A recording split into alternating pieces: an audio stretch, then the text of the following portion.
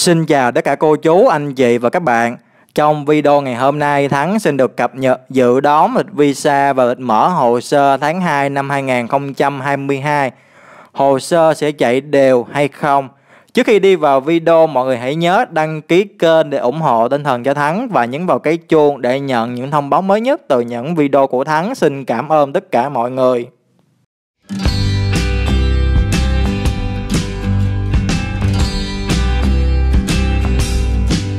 Ký hiệu các diện hồ sơ. Diện F1 con độc thân trên 21 tuổi của công dân Mỹ. Diện F2A vợ chồng hoặc con nhỏ dưới 21 tuổi của thường trú nhân. Diện F2B con độc thân trên 21 tuổi của thường trú nhân.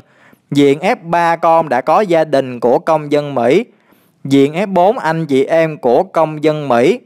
Công dân Mỹ, những người có quốc tịch Mỹ Thường chú nhân những người có thẻ xanh bao gồm thẻ 2 năm hoặc 10 năm. Thời gian chờ phỏng vấn hiện nay diện F1 7 năm 1 tháng, diện F2A Current chữ C ở thời điểm hiện tại, diện F2B 6 năm 4 tháng, diện F3 13 năm 2 tháng, cuối cùng diện F4 14 năm 10 tháng. Do ảnh hưởng của tình hình dịch bệnh hiện nay nên thời gian chờ phỏng vấn của các diện sẽ bị kéo dài hơn. Sau đây dự đoán lịch visa tháng 2 năm 2022 hay còn gọi lịch phỏng vấn tại lãnh sự quán Hoa Kỳ, Việt Nam. Theo visa đại dương xanh thì diện F1 tháng 2 năm 2022 đã phỏng vấn những hồ sơ đến ngày mùng 1 tháng 12 năm 2014 đứng yên so với tháng trước Diện F2A vẫn là chữ C. Diện F2B ngày 22 tháng 9 năm 2015 đứng yên so với tháng trước. Diện F3 ngày 22 tháng 11 năm 2008 đứng yên so với tháng trước. Diện F4 ngày 22 tháng 3 năm 2007 đứng yên so với tháng trước. Theo visa toàn cầu, diện F1 ngày mùng 8 tháng 12 năm 2014 tăng được một tầng. Diện F2A vẫn là chữ C. Diện F2B ngày mùng 1 tháng 10 năm 2015 tăng được 1 tầng.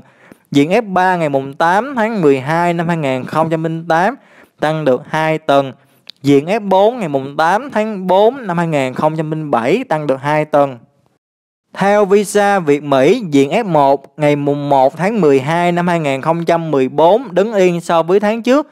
F2A vẫn là chữ C, diện F2B ngày 22 tháng 9 năm 2015 đứng yên so với tháng trước. Diện F3 ngày 22 tháng 11 năm 2008 đứng yên so với tháng trước. Diện F4 ngày 22 tháng 3 năm 2007 đứng yên so với tháng trước. Sau đây dự đoán lịch mở hồ sơ tháng 2 năm 2022 hay còn gọi là làm theo 6 bước theo yêu cầu của NVC. Theo visa, Đại Dương Xanh thì lịch mở hồ sơ tháng 2 năm 2021 dành cho diện F1 đến ngày 15 tháng 5 năm 2016 đứng yên so với tháng trước.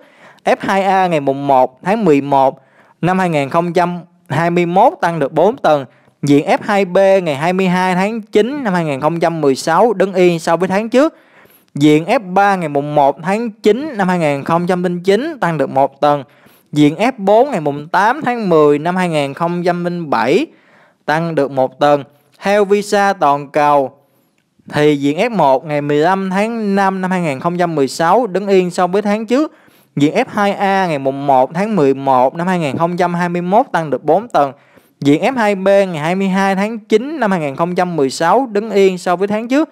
Diện F3 ngày mùng 1 tháng 9 năm 2009 tăng được một tầng. Diện F4 ngày mùng 8 tháng 10 năm 2007 tăng được một tầng.